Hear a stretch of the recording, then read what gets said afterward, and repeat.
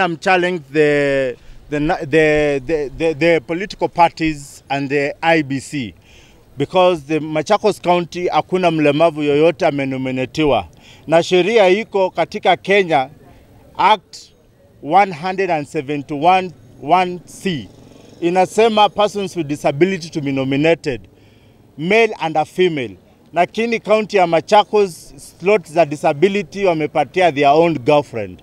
As we are asking the parties mostly Wiper Party, tunatamani mupatie wale walemavu walikuwa wame, wame, wame na wakalipa pesa, muwapatie slot zao because nyinyi ndio mko wengi katika kisiasa.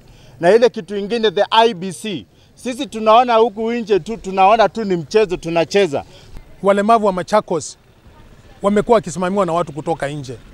Machakos inatakiwa kuwa na walemavu wake ama kiongozi wao ambao anawasimamia, anaelewa mambo yao, anaweza ku, kusimamia mambo yao na anaweza kuongelea mambo yao. Tukitolewa watu kutoka nje, hizi shida zitaisha lini? Na hii sasa inaonekana inarudia ile ile tu. Ukizungumzia chama kama Wiper, chama Wiper ilipewa viti mingi sana na haikuhusisha mlemavu. Tungeuliza kupitia kwa kiongozi wa chama na viongozi wale wengine na seneta wetu waangalie hii maneno, kwa sababu hatuwezi kosa kiti moja kwa waipa ya mlemavu ambapo tumepigania haki za walemavu na tuko na disability league kwa chama yetu ya Wiper. Itakuwa ngumu kama tuko na disability league ya Wiper na tuna mtu wa kusimamia katika bunge.